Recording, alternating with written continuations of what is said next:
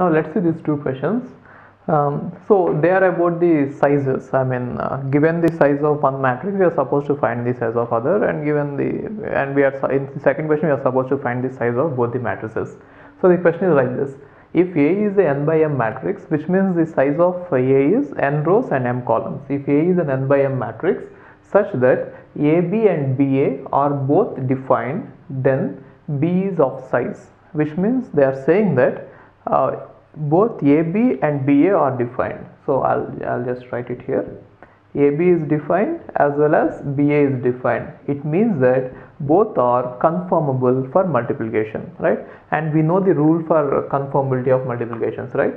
So here A is of size n by m, right? If AB has to be possible, I can definitely say that the number of columns here should be equal to the number of rows in the second matrix, right? So which means if this multiplication has to be possible, definitely B should be having m rows. The number of rows in B should be equal to number of columns in A, right? And the other one I don't know, right? It can be anything which which I cannot predict here, right? And the next one is here BA is also possible, which means we already know that it is a n by m matrix, right? So if this multiplication has to be possible, the number of rows in the second matrix should be equal to the number of columns in the first matrix, right? So I don't know how, how many rows can be here, but then from this uh, from this fact that BA is possible, I can guess that the number of columns in B is going to be n, right? Which means these two should be equal and these two should be equal, right? Therefore, from the first fact that AB is possible, I am able to guess that the number of rows in B should be m and from the second fact that BA is possible I am able to guess that the number of columns uh, in B is n. Therefore I can I can now say that B is of size m by n isn't it? So if both BA and uh, AB are possible if A is n by m matrix then the size of B has to be m by n and it, it is the only possibility. Nothing else is possible right and next one is if A and B are two matrices such that AB is possible as well as A plus B is also possible. They are saying that AB is possible along with that A plus B is also possible, right?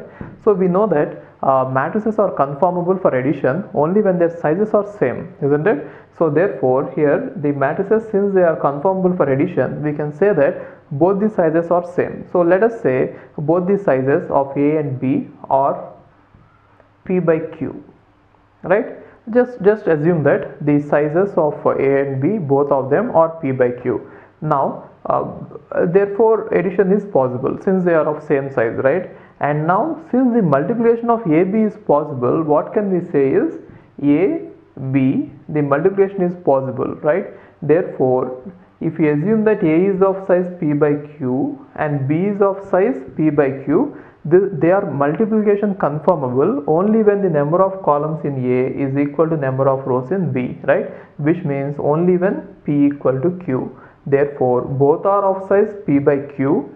I mean, both are of same size. That is what we got from this first uh, first fact. And from the second fact, what we get is, you know, A, B are of, uh, you know, Uh, square matrices which in which number of rows is equal to number of columns. Therefore, from these two facts, we can say that A and B must be square matrices of same size, right?